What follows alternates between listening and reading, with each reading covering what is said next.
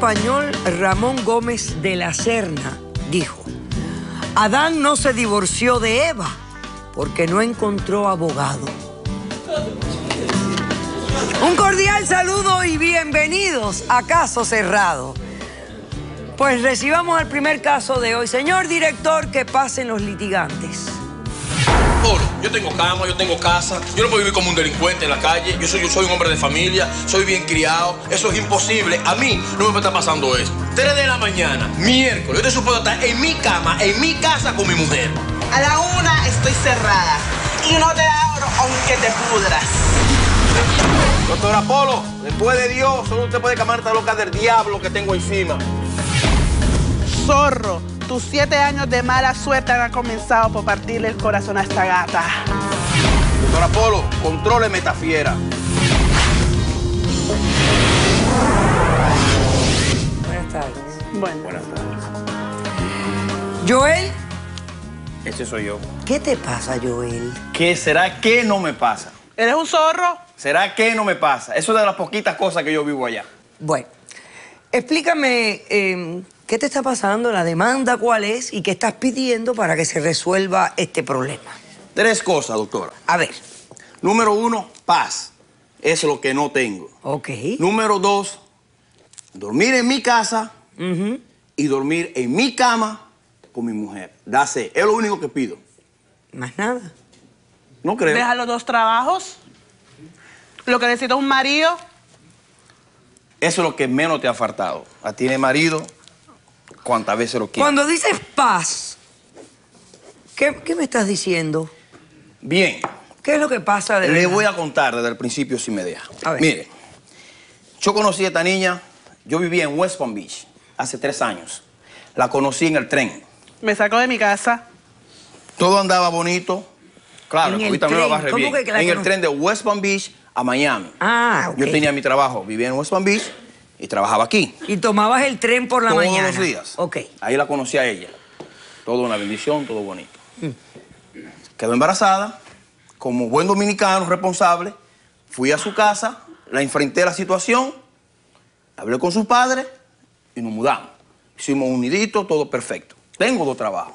Ok. Comienzo a trabajar desde 8 de la mañana hasta las 4 de la tarde. A las 4 y media salgo adentro a mi próximo trabajo. Yo soy cocinero.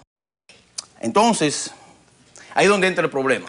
¿El otro trabajo comienzas a qué hora? A las 5, ¿Y hasta qué hora? a las 11 de la noche. Entonces, ella me tiene como un cronómetro. Ya a las una hora quiere que yo esté en la casa. Claro, a la una. Es imposible que yo esté en la casa en una hora. O sea, no te da la distancia y la velocidad del tren. No, no, no, porque ya vivo aquí, ya vivo aquí. Ah, ya te mudaste Sí, acá. porque- claro, porque si la embaracé, tengo que ser responsable. Ah, ok. Tenemos una niña ¿Y preciosa. por qué no puedes llegar a tu casa en una hora? Porque, Porque se queda. eh, eso no es lo que sucede. Por favor, No, déjame sí. hablar. No, Te tú estás tomando equivocada. cerveza con tus amigos. No es así, no es así. un no, mentiroso. no, no. Sí. Le explico, doctora. Mire qué sucede. Mm. Ella me da una hora para yo llegar a mi casa. ¿Me entiende? Aparte de cuando llego, no hay un caldero que no me tire encima. Claro, lo reviento. ¿Me entiende? O sea, ella usa... Es violenta, posesiva, celosa, es loca. Mire, si usted no resuelve esto, nadie lo va a resolver. Esta mujer es el diablo puro. Esta vaina, yo no sé cómo, no sé cómo voy Oye, a hacer con esta vaina. Cuando yo termino de trabajar de noche, yo tengo que limpiar, Ah, organizar, llevar mira, la comida cuadras al refrigerador. casa Sí, a vivo a tres cuadras. ¿Sabe por qué vivo a tres cuadras? Porque tengo mi carro, tiene el carro, porque si me voy en el carro a trabajar al restaurante, dice Vas a que montar a estoy tu... mon- Claro. Es absurdo. Yo vivo para ella. Tú sabes cómo yo te amo. Tú sabes cómo te respeto. Tenemos ¿Y una niña preciosa. No sigue mis reglas. ah, pero que que tú no, puedes, la tú no una, puedes- jamás vas a poder correr a un tigre. Eso es imposible. No. Eso es imposible. A mí no, No. me vas a acorralar. ¿Pero qué cosa es esto de mis reglas? O mi- ¿Se da cuenta? ¿Reglas? Claro, a la una él tiene que estar en la casa. Pero esa regla es absurda. Si el hombre trabaja hasta las 12 de la noche, es cocinero, a él le conviene y además es una Es que es un necesidad de limpiar su cocina, de guardar sus ingredientes para que cuando venga a trabajar el día siguiente todo esté en orden. O sea, ¿qué reglas son esas? Son absurdas. Trabaja en un bar y se queda ahí tomando cerveza. Llega borracho a la casa. No sé, porque le cierro la puerta. O sea, no, no, no lo deja ni siquiera No entrar. sabe, no. Yo no llego borracho a la casa. Es absurdo. Cuando yo llego, ya a mí en el bloquecito me conoce todo el mundo. Porque ando deambulando por la calle después de las 12 de la noche. Es que tiene que llegar a la una a la casa. Parezco un puro delincuente. ¿Cuánto tiempo llevas de relación con ella? Tres años. Y en esos tres años, estas reglas que me estás hablando, este, este tipo de vida, eh, ¿ha sido así durante los tres años? ¿O esto se empeoró hace un tiempo? Bueno, como le expliqué antes, como dicen en Santo Domingo, Ecovita nueva barre bien. Al principio todo estaba bonito. Ok, o sea que esto es algo reciente, ¿de Ya hace cuánto tiempo? No, no, ya, ya eso va lejos, ya eso va Ya lejos. lleva como un año. En tres meses. Ajá. En tres meses. Si yo duermo dos semanas en la casa, es mucho. Ok.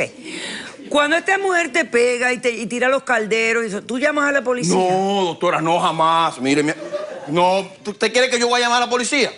Esa mujer me saca tres lágrimas de cocodrilo y me, me laquean, me meten preso. Ah, yo no soy preso estúpido, doctora. Ok, vamos a hacer un corto receso. A la vuelta, eh, Tatiana responde a la demanda. ¿Ok? Regresamos después de este corto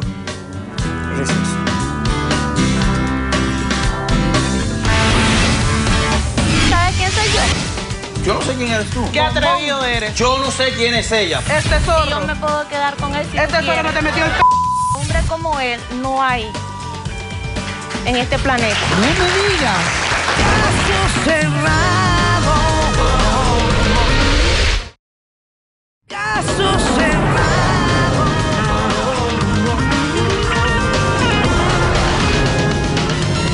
Joel demanda a su pareja Tatiana, con quien tiene una niña. Eh, exige dos cosas. Exige la paz. Pareciera que fuera un país y está pidiendo la paz.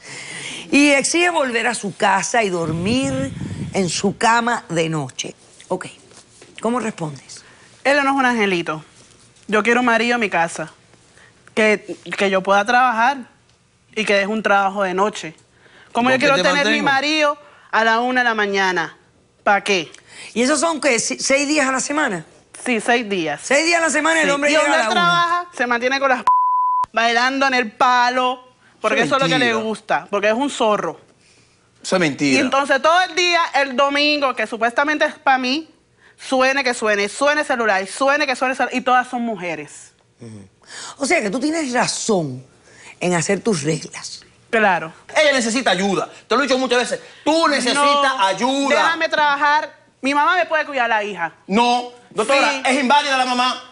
¿Qué Mi niña La es preciosa. la puede. Yo tengo una niña preciosa. ¿Pero qué edad tiene la 100 niña? dólares. Ella tiene tres años. Oye, la niña puede ir a un daycare. No, con gente Vale. extraña. Yo no confío en nadie. No, no. No Usted sabe quiere muy que bien que se han visto demasiadas cosas Él en no la quiere que calle. trabaje. Claro, porque te gusta. No. La en la noche. No es cierto. Sí es cierto. Tú estás equivocada. No estoy Ok, equivocada. hay testigos en este caso. No, no hay testigo. Yo no tengo testigo. Nadie trajo un testigo. Yo tampoco. Ok, producción trajo un testigo, así que vamos a pasar al testigo de la producción. Buenas tardes, su primer nombre, por esta? favor. Buenas tardes, doctora Polo. Mi no nombre sé es Luisa. Luisa. De verdad que te pasas. ¿Tú no sabes quién soy yo? ¿Puedo seguir? Sí. Doctora, una no, yo me mudé hace un mes. Un sábado a las 2 de la mañana me salí a fumar un cigarrillo. Me puse a platicar con una vecina y apareció él. Dijo que la mujer lo votó. La vecina me dijo que lo deja, que me quedara con él, Ah, porque la vecina no estaba rifando. Ajá. porque ella ya estaba aburrida de cogerlo. Ah. Entonces, como yo soy una mujer soltera, Ajá. sin compromiso, le di donde dormir. Ah, ¿Te acostaste bien. con ella? En- Cállate, Mírame déjame los ojos. seguir la historia. ¿Te acostaste con ella? ¿Y entonces qué pasó? Entonces él entró, Ajá. puse musiquita. Ajá. En mi casa nadie duerme con pantalón, sino me puse un baby door. Ay, qué Le bien. ofrecí un- una copa de vino y le dije, a ver papi, cuéntame tu historia. Qué descarado. Y él me dijo que amaba a su esposa, que era felizmente casado y que amaba a su hija. Y me dijo que él no era lo que yo pensaba. Doctora Polo, yo me quedé asustada, sorprendida, porque hombre como él no hay en este planeta. No me digas. Y tú no sabes lo que tú tienes. Así que valóralo. O sea que lo sedu... ¿Trataste de seducirlo? Lo No funcionó. seduje y me despreció y, y me dijo que se despreció. prefería ir a dormir a una plaza antes de dormir conmigo. Y traicionar a su esposa. El angelito. Eso no se lo queda Valora lo que, mismo. quie- lo que tienes, mi amor, porque si no, Ah, te quedas sin él este zorro. y yo me puedo quedar con él si este tú zorro quieres. no te metió el...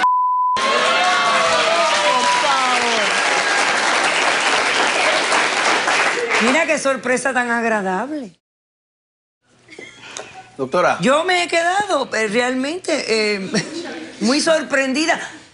Bueno, ¿Y tú le positivamente po- eh, ah, Y se sorprendida. fue y me dejó ahí. Y se fue y te dejó ahí. Mira qué bonita situación. Siempre uno viene a oír las cosas horribles, que el hombre que hizo, que esto, que engañó. Y, y esta mujer ha venido aquí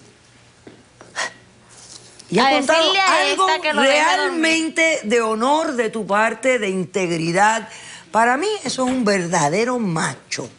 Eso es un eso es lo que hombre. ella no entiende. De verdad, un hombre ¿Y entonces por casado de verdad, porque la mujeres? mayoría vienen y te dicen, bueno, doctora, pero yo soy hombre, imagínese, como si ser hombre significara que hay que engañar a todo el mundo. Vamos a invitar a la, a la licenciada Irving Morales para hablar con ella del conflicto que todavía existe aquí, porque hay algo de ti, de todo lo bueno que tú eres, y yo entiendo lo que tú quieres. Tú no quieres que ella trabaje para que críe a la niña. Correcto. Mientras que la niña no tenga que ir a la escuela, tú lo que quieres es que ella se dedique a la crianza de su hija. Pues si yo la atiendo bien a ella, Yo te comprendo, yo te comprendo, pero a veces Yo la no mujer necesita ella. sentirse útil. A ver, eh, licenciada, veo que hay violencia entre ellos. Él la aguanta porque él la quiere, pero es violencia igual. Para, para la sociedad es más difícil entender la violencia femenina, lo que se llama una, una violencia unilateral, que pasa, generalmente se busca como un ofensor masculino. A veces es difícil entender la dinámica de, una, de la violencia femenina, pero al final del día es una dinámica abusadora y es una dinámica de poder y control de como quiera que se ponga. Al igual que eso de no dejarlo entrar a la casa después de la una, es, es otro acto de violencia también.